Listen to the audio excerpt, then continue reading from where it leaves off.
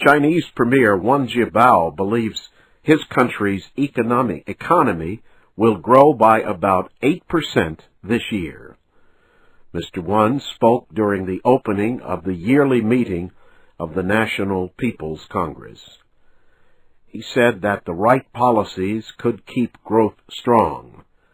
Total government spending under a proposed budget is expected to be around $641 billion.